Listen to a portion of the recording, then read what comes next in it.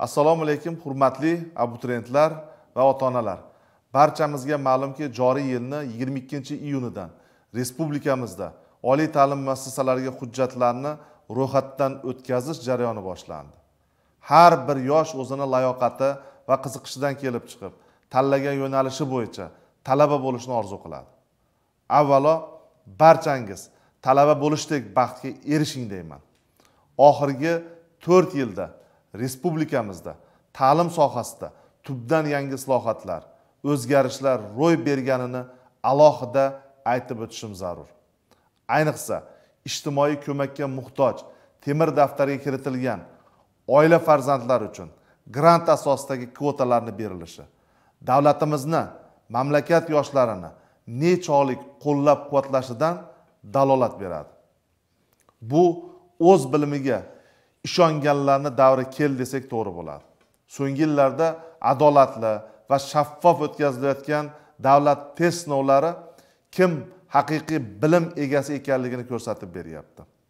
Institutimiz haqida gapiradigan bo'lsak bizni oliygoh andijon qishloq xo'jaligi va agrotexnologiyalar instituti bugungi kunda andijon farg'ona namangan viloyatlariga qishloq xo'jaligi tarmoqlari uchun mutaxassis kadrlar tayyorlaydigan vodiyda yagona institut hisoblanadi. Hozirda institutda beshta fakultet va yigirmata kafedra faoliyat olib bormoqda. Ushbu o'quv yilida institutda kunduzgi sirtqi magistratura mutaxassisliklarida jami besh ming to'rt yuz nafardan ortiq talabalar tahsil olmoqda. Joriy yilda respublikamizda yoshlarni oliy ta'lim muassasalariga qamrovi yigirma foizdan ortiqni tashkil etyapti. Bu ko'rsatkich to'rt yil oldin bor yo'g'i to'qqiz foizni tashkil qilardi. Jumladan institutimizda bu yil qabul kvotalari o'tgan yilga nisbatan bakalavriatda o'n yetti foizga magistraturada esa qirq olti foizga ortdi. Shuningdek kunduzgi ta'limda uchta sirtqi ta'limda beshta yangi ta'lim yo'nalishlari ochildi. Ya'ni ushbu o'quv yilida bakalavriatning kunduzgi ta'lim shakliga o'ttizta ya'ni bir ming bir yuz yetmish to'qqiz nafar sirtqi ta'lim shakli bo'yicha yigirma oltita ta'lim yo'nalishlariga yetti yuz nafar magistraturani esa yigirma yettita mutaxassisliklariga bir yuz yigirma nafar qabul kvotalari belgilangan. Xorijiy oliy ta'lim muassasalari bilan hamkorlikdagi qo'shma ta'lim dasturlarida to'rtta ta'lim yo'nalishi bo'yicha yuz nafar kadr tayyorlash belgilab berilgan. Shuningdek bu yilgi qabul jarayonida respublikamizdagi ijtimoiy himoyaga muhtoj oilalardagi xotin qizlarga beriladigan tavsiyanomalarni ikki foizdan to'rt foizga oshishi. Bunda ikki ming nafar xotin qizlarimizni davlat granti asosida qo'shimcha kvotalar bilan oliy ta'lim muassasalariga o'qishga qabul qilinishi belgilab qo'yildi. Bu ham bo'lsa muhtaram prezidentimizni aholi ayniqsa xotin qizlar orasida oliy ma'lumotga ega o'z yo'lini tanlay oladiganlar sonini ko'paytirish va ularni jamiyatdagi mavqeini oshirishga qaratilgan amaliy harakatlarni isbotidir.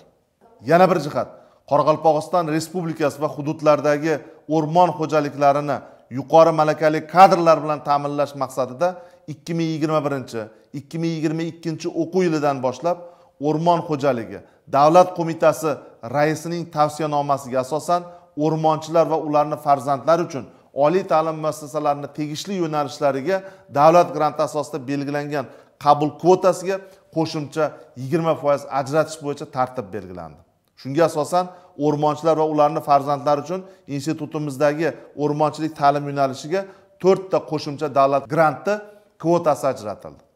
Abituriyentlarimiz uchun yana bir imtiyoz o'zbekiston respublikasi prezidentini ikki ming yigirmanchi yildagi agrar ta'lim tizimini yanada takomillashtirish chora tadbirlari to'g'risidagi qaroriga muvofiq ikki ming yigirmanchi ikki ming yigirma birinchi o'quv yilidan boshlab qishloq xo'jaligi vazirligi tizimidagi oliy ta'lim muassasalariga sohada besh yil stajga ega bo'lgan tavsiyanoma asosida o'qishga tavsiya etilgan abituriyentlar uchun o'qish muddati sirtqi ta'lim shaklida besh yil emas balki to'rt yil etib belgilanishi hamda to'lov kontrakt miqdorini kunduzgi ta'lim yo'nalishlarida to'lov kontrakt miqdorini kunduzgi ta'lim yo'nalishlaridagi to'lov kontrakt miqdoriga tenglashtirilishi belgilab qo'yildi. Eslatib o'tmoqchiman joriy yilda abituriyentlar uchta majburiy fan ikkita mutaxassislikka oid jami bo'lib beshta fandan imtihon topshirishadi. Barchamizga ma'lum so'nggi uch to'rt yilda davlat test imtihonlaridagi shaffoflik adolat kuchaytirildi. Bilim olgan oliy ta'lim muassasalarida o'qish uchun tayyorgarlik ko'rib harakatdan to'xtamagan abituriyentlar talaba bo'lish baxtiga erishmoqda.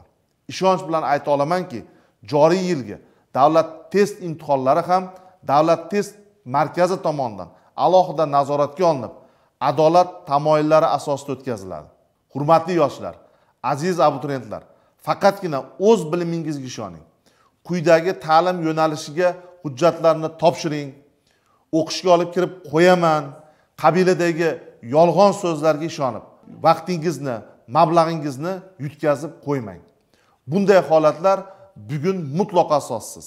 Mana shunday noqonuniy ishlarga aralashishga hech birimizni haqqimiz yo'q va vakolatimiz ham yo'q.